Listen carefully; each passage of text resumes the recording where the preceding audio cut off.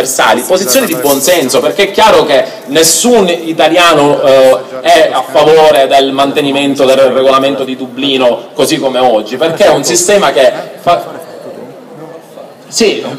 il, il, il, povero tra virgolette Alfano si è, ritro, si, è ritrovato, si è, ritrovato, a gestire il Ministero dell'Interno in un periodo storico particolare e ha deciso di farlo nel modo in cui probabilmente lui meglio intende la politica, quindi vedendoci il lato positivo e il lato speculativo, su cui adesso andremo a soffermarci. Quindi dal punto di vista della politica nazionale e della politica, della politica europea, il vero problema che noi riscontriamo è la totale assenza di volontà da parte di quelli che sono gli stati più ricchi e che hanno contribuito a fare più danni all'interno di quei paesi di collaborare e di creare una politica unica europea. Io credo, e su questo eh, ritorno più volte nel lavoro parlamentare, ma anche durante gli incontri, che sul tema immigrazione ci si gioca il futuro e la credibilità dell'Unione Europea perché è del tutto inconcepibile vedere il, un grandissimo entusiasmo da parte della Germania, della Francia, dell'Inghilterra quando si parla di politiche commerciali o di allargamento e vedere una grandissima volontà di mantenere la propria sovranità quando si parla di politiche di immigrazione o comunque si va ad intaccare quelli che vengono definiti affari interni dei singoli stati secondo i trattati.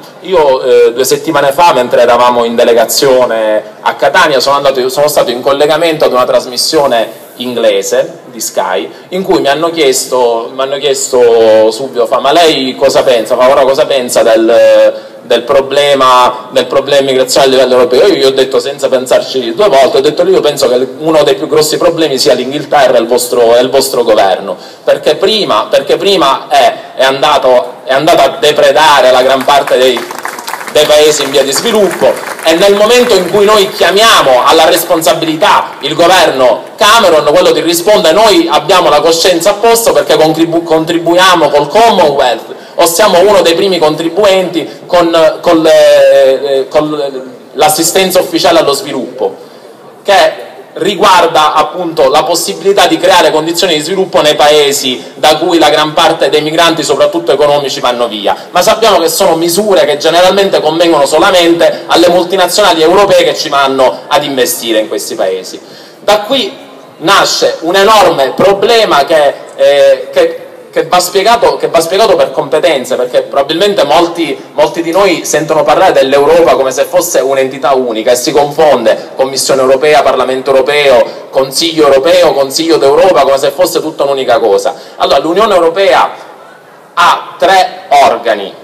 principali, che sono la Commissione, che è un, una sorta di esecutivo e che finalmente quest'anno è riuscita a tirare fuori una proposta globa, globale sul tema dell'immigrazione, che più o meno sposiamo noi come Parlamento europeo, dove diciamo, viene fuori la voce dei, dei, popoli europei, però chi ha il pallino in mano, chi ha il vero potere decisionale è il Consiglio. E il Consiglio è composto dai governi degli Stati membri. Ora, siccome il tema eh, immigrazione rientra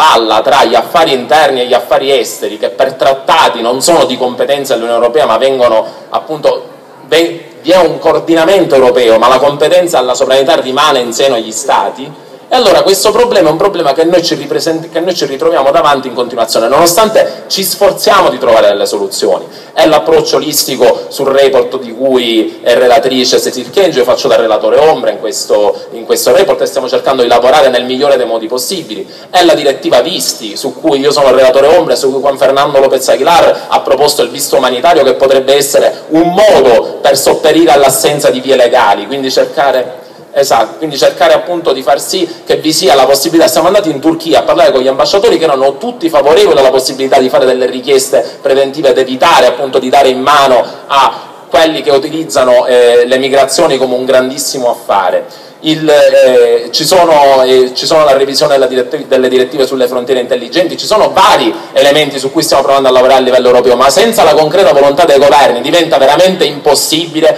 riuscire a risolvere il problema. E su quello serve e per quello serviva già da prima una grande una grande coesione da parte delle forze politiche italiane nel ribattere la volontà ferrea da parte di tutti gli stati del sud Europa nel cercare, non nel cercare, nel pretendere la collaborazione dell'Unione Europea, soprattutto gli stati del nord, nell'affrontare la tematica in maniera unitaria. Da qui passiamo a livello nazionale, che forse che forse probabilmente è quello più pepato perché è quello di cui si discute di più in televisione, di cui si sente più parlare, di cui si parla più per slogan. E voi sentirete spesso e volentieri dire una, un immigrato ci costa 40 euro al giorno, 35 euro al giorno, l'italiano muore di fame mentre agli immigrati li trattiamo come pascià. Quante volte abbiamo sentito dire queste cose. Ecco, io lì mi ricollego a cosa diceva Elio, un welfare, un welfare distribuito. Noi abbiamo avuto la possibilità di visitare con, della, con la delegazione, ma l'ho fatto anche come cittadino o come attivista, cercare di capire come funzionano, come funzionano i centri. Parliamoci chiaramente, per il Ministero dell'Interno, per il governo italiano, per chi ci gira intorno, per chi gestisce quello che è diventato un business dell'accoglienza, il fatto che si possa mantenere il livello più alto di occupazione del, dei centri è un grandissimo affare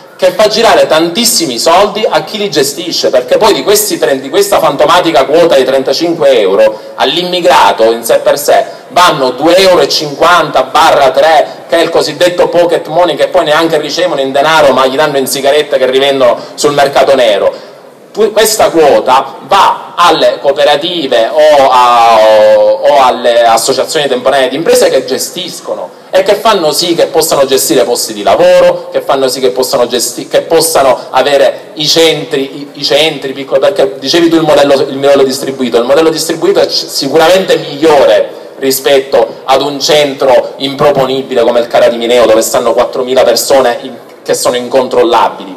però rimane sempre quel punto, cioè è un grandissimo affare in un periodo di crisi riuscire a mantenere piene tutte le strutture pagate dal, dal, pagate dal governo italiano per l'accoglienza e quindi fare girare questi soldi all'interno dell'economia, all dell italiana.